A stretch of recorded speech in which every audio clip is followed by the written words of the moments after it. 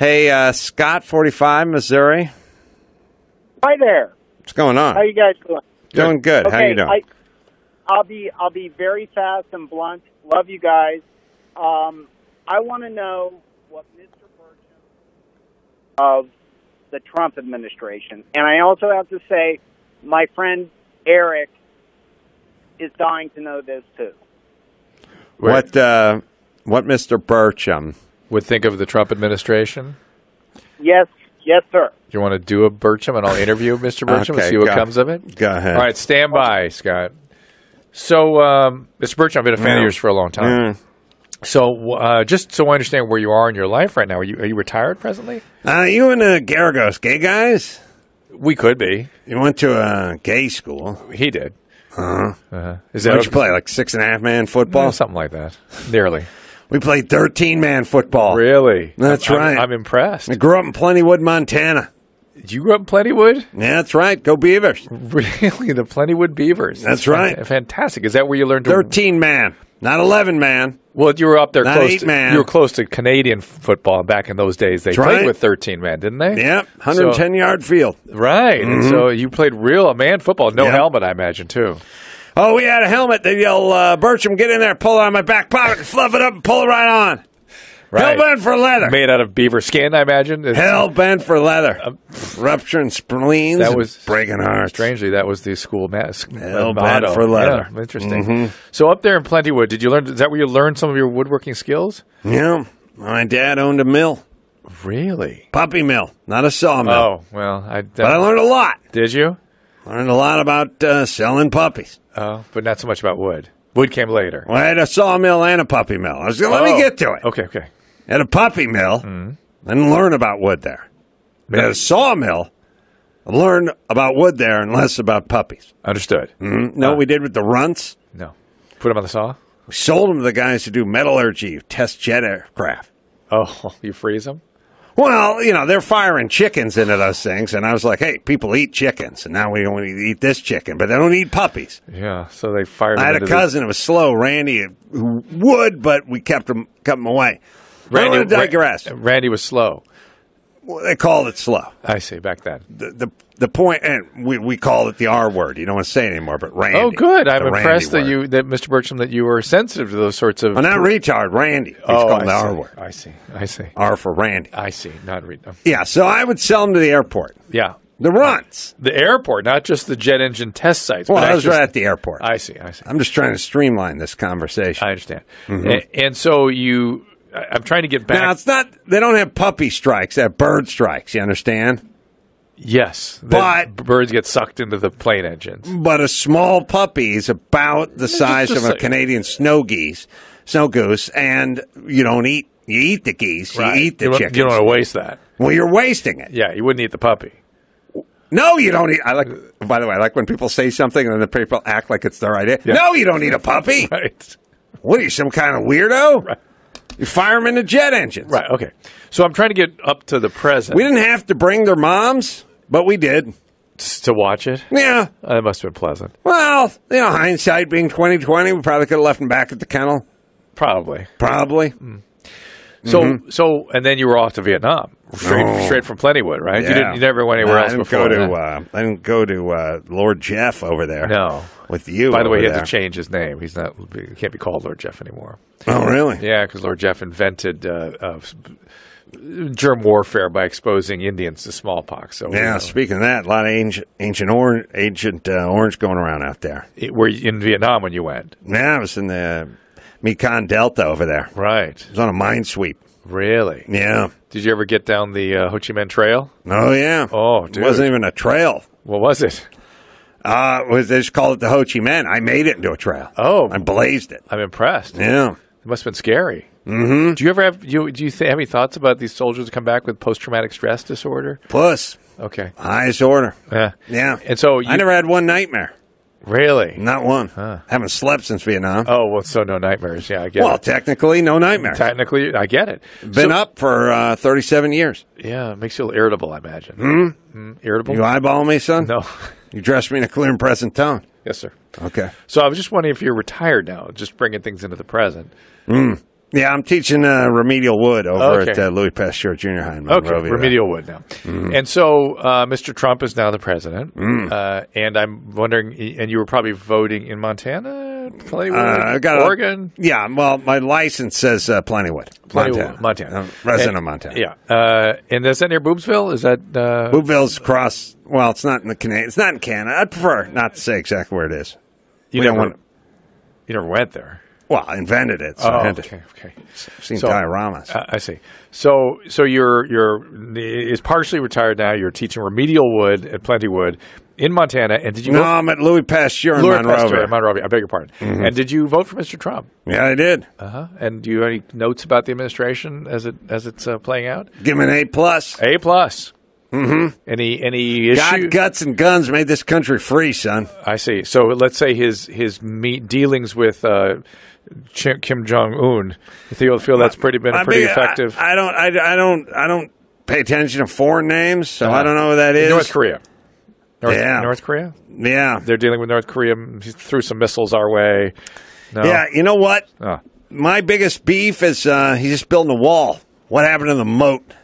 Oh, you can't build us a wall without a moat. Okay. You build a wall and a moat. Well, given that you blazed the Ho Chi Minh Trail, maybe you can uh, help build them Mm-hmm. I'll up. lay that moat. yeah. And by the way, turn it into a water park. Nice. You get to go right along the Mexican border there. So rapids going down the border. Put you in a nice truck inner tube, crack a cold one, Nice. rest it on your belly. Fantastic. Nice lazy river.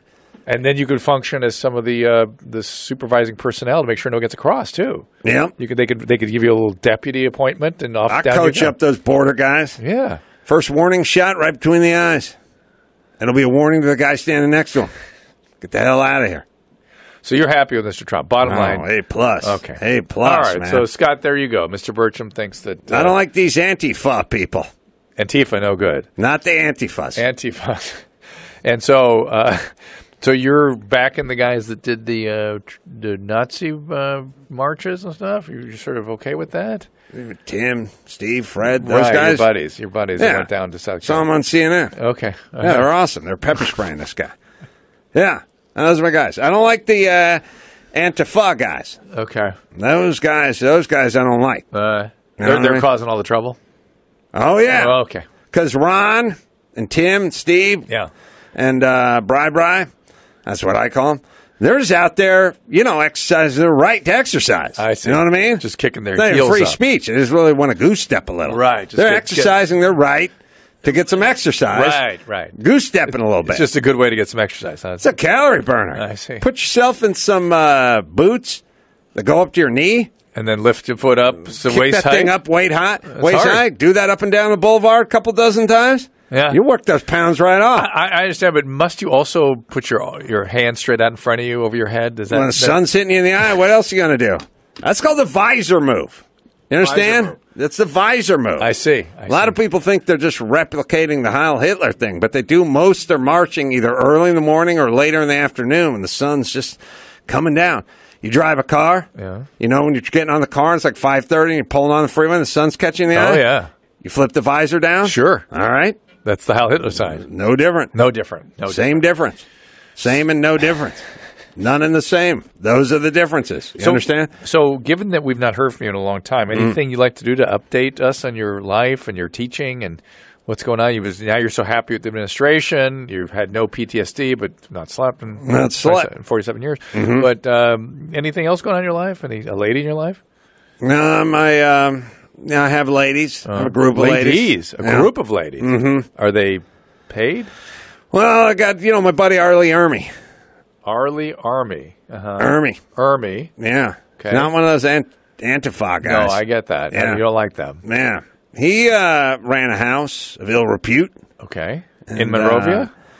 Uh, they franchised. Yeah. His was in Irwindale. It was uh, started in the Philippines, but it moved Ah, out. Yeah, it did get out there. Right. Okay. Irwindale. Because the land's cheap over there. Right. I figured by the racetrack. Dry climate doesn't help the ladies. I got to tell you that. It's good for infection. You know, you're a doctor. I have to tell you that. No, I knew that. Yeah, You don't want to get vag rot. No, I know we don't want that. And so uh, you're you're good with the ladies. That's all. That's all taken care of. And you picked up that habit in Vietnam, I imagine. I don't know what you call the habit. Uh, yeah. Okay, maybe the wrong word. That um, what do we call it? Drew, you've been married for a number of years. Yeah.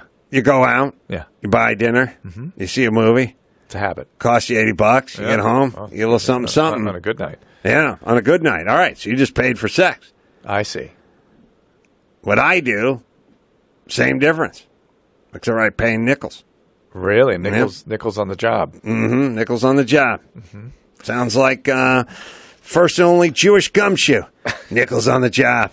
ABC Friday nights, ten o'clock. Nickels on the job. Your buddies Bry Bry and Tim and those guys when they were s they were chanting. Mm-hmm. I the- call him Bry Bry. The, I'm you just call him Brian. Brian. Mm-hmm. The Jews will not replace us. What, what what what those guys getting at? Are you worried about something? No, you and your buddies? Yeah, I'm going to go down and join in one of those rallies. See what's going on. The Jews will not replace us. Well, what they're saying is, is um, the, remember I told you how heavy the boots are, Yeah, and uh, you got a goose step. You got to kick it up like waist high. yeah. Jews got no lower body. None. They just don't have it. No Or no lower body. strength. Yeah, Hey, ever seen a Jew squatting a tremendous amount of weight? No, I can't Or say pulling a school No. bus in a strongman No. competition? Not- not the no. guy. Not you want to know why? No lower body strength. I see. So you can't goose step with those big jack booted thugs. So he's, they're Yeah. literally just matter of factly saying they will not replace us because they can't. Matter of fact, this. that's what they're saying. That's can't, they- they're can't goose stepping saying you can't replace us. I got it. Got it. Hey, and the Jews, Uh-huh. They don't need to use the visor Heil. You know what? Interestingly, that visor how really works. That you're blocking that light. It's I'm much more comfortable right now. This light. No, do that again, please. The Jews, Th- thank you. right, No, no, up, up higher. all Th- there, Jews there. are accountants, right? all. And they all have those green visors. Sure. Why would they need to do the hand thing? I see. So that's why they're concerned about it. They don't need it. That's and right. So it never they don't need it. to They can't do that. replace them. And I notice you're the one wearing a visor right now. I, I should be wearing a visor. Mm-hmm. Okay. Mr. Birchum, thank you for the interview. I've, I've got to uh, talk to our friends about ZipRecruiter. Yeah. You good? No. It's tough to find the talent you need for your business, isn't it? Isn't it, Birchum? Oh, Hard. yeah. hell yeah. ZipRecruiter lets you put post a job, post your job to 100 plus job sites with just one click. Then their powerful technology will match the right person for your job, the right people, really, because they'll give you lots of options. And unlike other sites, ZipRecruiter does not depend on candidates finding you; it finds them. Over 80% of jobs get posted after they're posted. 80% get a qualified candidate in just 24 hours, and then they keep coming on in. No juggling emails, no juggling calls. Screen rate manage candidates in one place with their easy to use dashboard. And right now, for the A&D listeners, you can post jobs on ZipRecruiter for free. That's crazy. Just go to ziprecruiter.com slash ADS for Adam and Drew Show. ZipRecruiter.com slash ADS and you will get a chance to post on over 100 job sites with one click. Match the right people to your job. ZipRecruiter.com slash ADS. Try it for free. All right. Hey, uh, Scott, you good? You happy? Yes, yes, sir. All right. That was the greatest thing ever. Thanks. I haven't done Birchum in 15 years. All right, good. Beautiful. Enjoy. Thanks. All right.